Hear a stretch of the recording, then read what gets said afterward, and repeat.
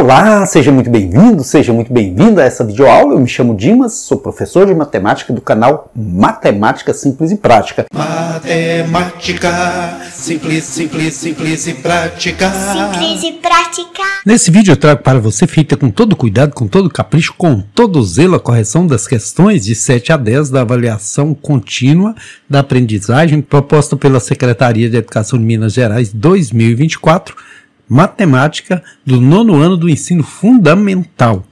A questão ela é uma continuação da questão anterior, mas é, o texto base é esse. Leia e observe as informações do quadro abaixo para responder as cinco questões a seguir. A primeira já foi respondida na videoaula anterior. Se você não assistiu, está na playlist. Um clube de lazer possui uma piscina circular uma piscina infantil com formato retangular e uma pista utilizada pelos sócios para realizarem caminhadas. Observe abaixo uma representação desse clube. Então a questão propõe o seguinte: observe na figura abaixo a representação da base dessa piscina circular, em que os pontos P, Q, R e S correspondem a quatro locais distintos da borda dessa piscina. Nessa figura, os segmentos tracejados entre esses pontos formam um desenho que decora o fundo da piscina. De acordo com essa figura, qual é a medida em grau do ângulo θ? Então aqui essa propriedade é interessante de ângulos inscritos aqui na circunferência, porque sempre a medida de um ângulo inscrito é igual à metade da medida do arco determinado por esse ângulo na circunferência. Se você considerar ângulo, é a formação aqui, a abertura, formada por dois segmentos de reta, aqui no caso 40. Se você considerar arco, é a quantidade que isso gira aqui no arco. Então aqui o nosso ângulo 40, pela regra, pela propriedade, formado por essa retinha PR e PS, ele forma um arco aqui obrigatoriamente de 80. Por quê? Porque a medida de um ângulo inscrito é igual à metade da medida do arco determinado por ele na circunferência. E aí ficou mamão com açúcar. Por quê? Porque esse arco em verde é o mesmo arco do teta. Veja que o teta está aqui bonitão e as retas que formam o teta são as retas que chegam lá nas extremidades desse arco. Então, se esse vale 40, obrigatoriamente esse também vale 40, porque é a metade, né? Seguindo a propriedade aí. A gente, uma vez sabendo a propriedade, acabou o problema. Então, o teta vale 40. Alternativa correta, letra B, de bons estudos.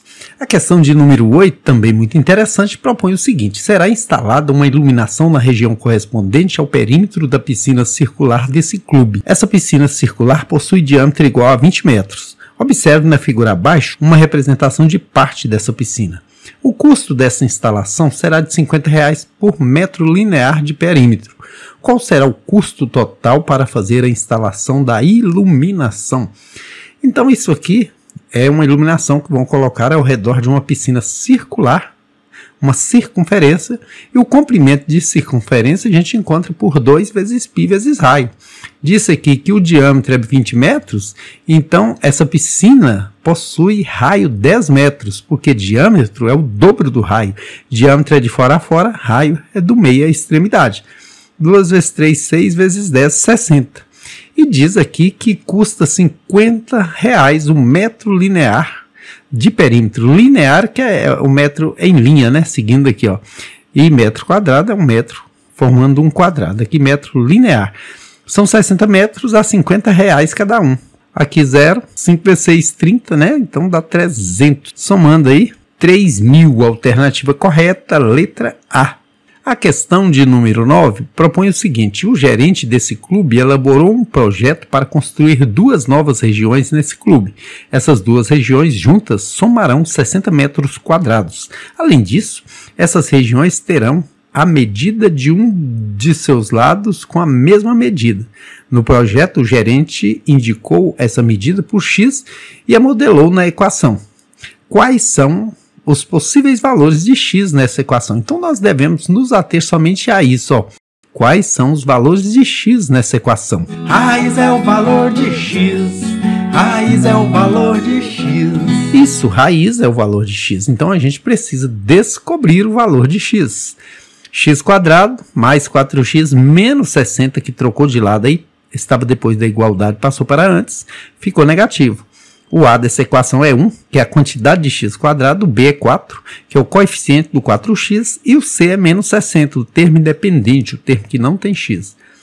Daqui para frente tem algumas formas de resolver. Eu vou mostrar para você a resolução de duas formas. Primeiro, pela soma e produto. Soma menos B sobre A, produto é C sobre A.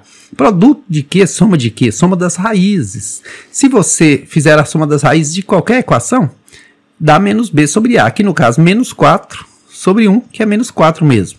O produto das raízes dá C sobre A, menos 60 sobre 1, que é menos 60 mesmo. Então eu preciso achar dois números que se eu somá-los dá menos 4, se eu multiplicá-los, o produto é conta de vezes, dá menos 60. Para dar 60 e de um para o outro ter diferença de 4, só pode ser 6 e 10, porque 6 vezes 10, 60. Aqui 10 menos 6, 4. Agora um deles tem que ser negativo. Uma vez que o 4 é negativo, sobra mais dívida do que crédito, eu tenho que pôr um menos nesse para ficar mais dívida do que crédito. Se você deve 10, paga 6, sobra dívida de 4. Multiplicando menos 10 por 6, menos 60. Quando a gente fala soma, é literalmente somar as raízes. Olha, menos 10 com 6, menos 4. Quando a gente fala produto, é literalmente multiplicar essas raízes, menos 10 vezes 6, menos 60.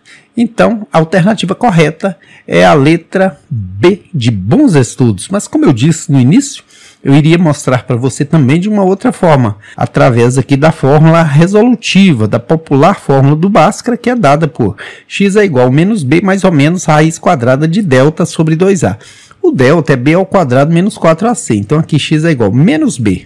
Olha aqui, o b é 4, então menos 4, mais menos raiz quadrada de como eu disse, delta é b ao quadrado menos 4ac. b ao quadrado, 4 ao quadrado, menos 4 vezes o a, que é 1, vezes o c, que é menos 60.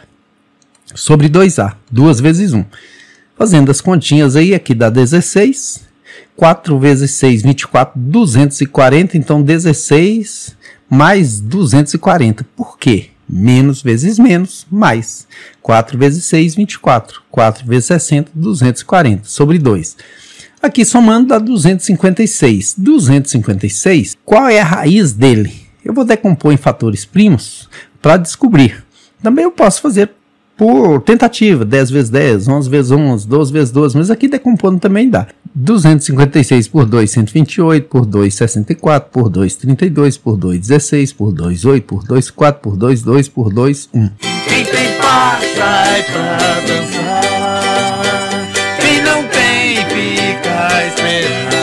É, quem tem par sai para dançar. Então vou tirar aqui quem formar par. É um macetinho, né, para a gente memorizar. Esses também formaram par, formaram par, formaram par. Tiro um representante de cada par e multiplico. 2 vezes 2, 4, vezes 2, 8, vezes 2, 16. E aqui tem um sinal de mais ou de menos. Eu faço uma vez com o de mais. Menos 4 mais 16 dá 12 sobre 2, 6. Outra com um sinalzinho de menos. Menos 4 menos 16 menos 20 dividido por 2, que dá menos 10. Olha que são as mesmas raízes, embora o caminho seja diferente. A última questão desse vídeo, a questão número 10, bem interessante, diz o gerente desse clube pretende reformar a pista de caminhada. Por isso ele fez uma ilustração dessa pista, onde indicou algumas medidas em metro e alguns ângulos. Observe essa ilustração. Nessa ilustração, duas partes da pista são as únicas que não possuem suas medidas indicadas. Essa, né, MO e NO. Essas duas partes estão representadas pelo segmento MO e NO. Com base nessa figura, qual é a medida do comprimento total dessa pista em metro? Então aqui, se você reparar direitinho, o triângulo MNO, que é esse em azul, ele é semelhante ao triângulo R OS, que é esse em rosa. Por que, que eu posso provar isso? Pelo caso, olha que esse ângulo e esse ângulo são iguais, porque são formados pelas mesmas duas retas. Então, ângulos iguais, congruentes. Aqui tem alfa, aqui tem alfa, então também são congruentes. O que um vale, o outro vale. Ângulo de novo, beta, beta, então ângulo de novo. Pelo caso, ângulo, ângulo, ângulo. Então, seus lados são proporcionais. E veja que o de cima é a metade do de baixo. Então aqui também é metade disso e aqui é metade disso. Aqui é metade de 160 que é 80. Aqui é metade de 140, que é 70. E agora é só somar aí todo mundo, né? 80 mais 70 mais 120 mais 140 mais 240 mais 160, que dá zero. 8, 7, 15, 17, 21, 25, 31, eleva 3 com 4, 1, 5, 2, 7, 1, 8, 810. Alternativa correta, letra C. C de conto com você se inscrevendo aí no canal Matemática Simples e Prática para a gente ir compartilhando conhecimento. Conhecimento é como a luz. Se você o possui e não compartilha, ele não vai chegar a outros pontos e ajudar a outras pessoas a encontrar o caminho. Então, se inscreva aí. Só sonhos não realizam sonhos. É preciso você se dedicar. Com fé buscar o conhecimento. E com certeza vencerá.